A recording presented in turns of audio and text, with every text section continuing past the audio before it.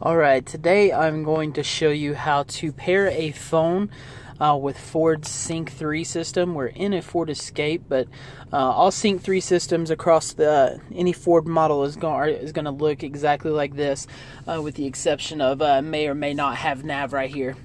So this is the home screen. I'll turn off the headlights so it brightens up for us.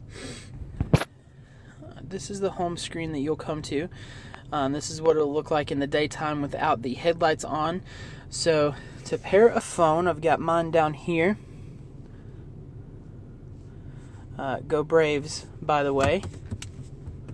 Prop it up here. So we'll go to the menu, open up Bluetooth.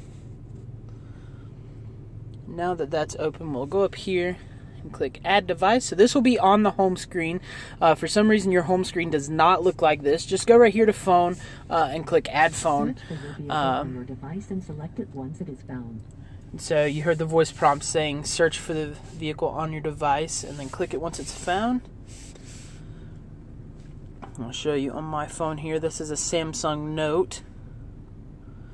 You can see Ford Escape pops up right here, so just click on that and the prompt will pop up on the screen. Confirm that the pin displayed on sync matches the pin displayed on your device. Right, just click yes on that and OK on the phone. For your safety, please stay alert to changing road conditions and use Sync's voice-activated features while your vehicle is in motion. It'll pop up, ask you for 911 assist on or off, and if you want to download the contacts. Since this is a new vehicle, I am not going to download my contact list. Just click finished. And down here on your phone, it'll ask permission to for messages. Just click yes or no if you want text messaging to be set up. And it's as easy as that. Um, it's that simple to set it up. Uh, I would recommend downloading your contacts list so uh, you're able to use the voice prompt to make a call to somebody. Um, that way you can just hit the phone button or the voice prompt right here on the steering wheel and just say call and then the contact name. Uh, even without this downloaded, while I'm in park, can use this as a dial pad. Uh, I can access my contacts if those are downloaded.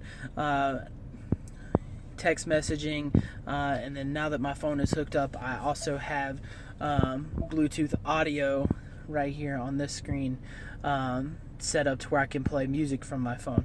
Uh, so it is really awesome to uh, set up. So another great feature um, that these systems have. Um, the Escape 2017 Escapes, Fusions, and F-150s uh, are available to become equipped with uh, a modem in here called Sync Connect. Um, what you can do with that is you can download an app on your phone called Ford Pass, and it'll enable you to be able to remote start your vehicle. Um, lock and unlock your doors. It'll tell you how much gas you have in your vehicle, your service intervals, uh, help you find parking in the big city. Uh, and just a note, even if the vehicle does not come equipped with remote start on the key, if you have Ford Pass and the vehicle is Sync Connect equipped, you can remote start uh, from your phone. Uh, a lot of escapes uh, don't have the uh, some of the SEs you get do not have uh, this key right here. As you can see, remote starts on here. It'll come with just a standard key uh, that does not have remote start. But with uh, with Ford Pass, you are able to remote start your vehicle from your phone. Um, as long as it has the uh, the Sync Connect system in uh, in the Escape. So, if you have any questions, call the dealership. Uh, I'm uh, we have tons of sales staff here that is able to answer your questions on it 828-884-4151. Uh, if you like to test drive an Escape, uh, give us a call. We'll be happy to help you that. We have tons on the lot. Uh, some great technology Ford has, so uh, just give us a call. Thanks for watching.